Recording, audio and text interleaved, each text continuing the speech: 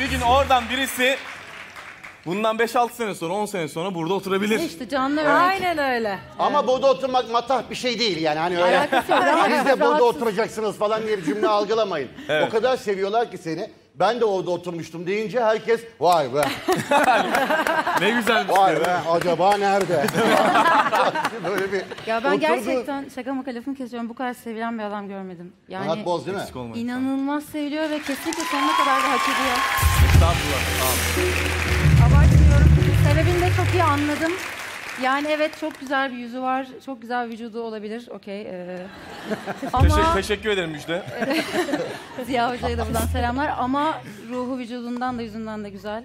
Yok İyi ki ruhu tanıştık. vücudundan daha iyi olan yani ben varım. Dur daha bir- ben çok girmeyeyim dedim bu konuya da.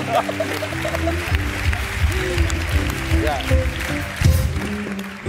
Ben sizlerin neler hissettiğini e, çok iyi anlayabiliyorum. Benim nasıl bu konuda mağdur durumda kaldığımı hissettiniz.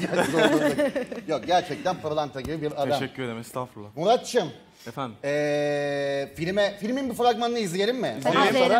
bu arada filmle ilgili çok güzel haberler e, programdan önce geldi. E, film şu anda e, İstanbul'daki sinemalarda, Anadolu'daki sinemalarda full oynuyor. Harika haberler teşekkür bunlar. Tebrik ediyoruz. Çok teşekkür Güzel bir film. Sağ Gerçekten komik bir film olduğunu da buradan söyleyelim. Fragmanını izleyelim sonra konuşalım. Buyurun.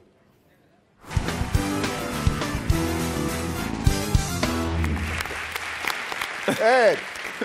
Murat Boz'dan bence hani beklenmeyen performans diyeceğiz. Çünkü daha önce filmin yok. Seni bir yerde görmedik. Herhangi bir evet. şey yapmadık.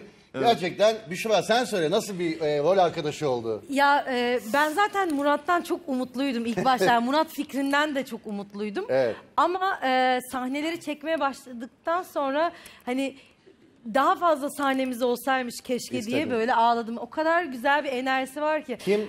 Gömecek bak gömecekten Hayır, bir hayır, gömüyor. göm- hayır, hayır, hayır, hayır, hayır, geldi. görmeyeceğim. Ben- şinasiye çalışacağım bugün.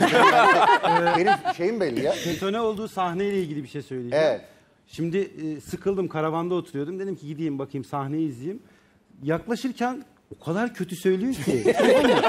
Allah Allah diyorum. Hiç mi seveni yok? Hiç kimse uyarmıyor mu yani?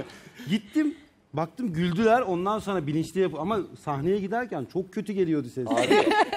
Ama zaten Kanalımıza abone olarak tüm videolardan anında haberdar olabilirsiniz.